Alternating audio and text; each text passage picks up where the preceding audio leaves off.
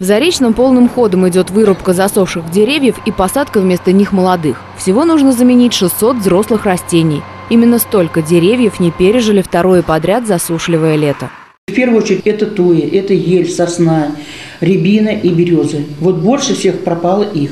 Самое плачевное, конечно, вот по улице Ленина. Большие ели. Большие ели э, засохли, мы их вот убрали. На это место посадили э, маленькую такую обыкновенную ель.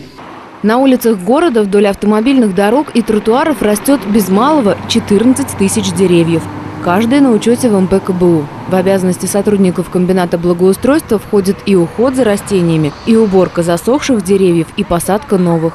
На сегодняшний день на улицах города вырублены практически все засохшие деревья. 360 мест уже заняты молодыми саженцами. Еще 240 планируют посадить до ноября. Елена Степкина, Сергей Пруцкий, телерадиокомпания «Заречный».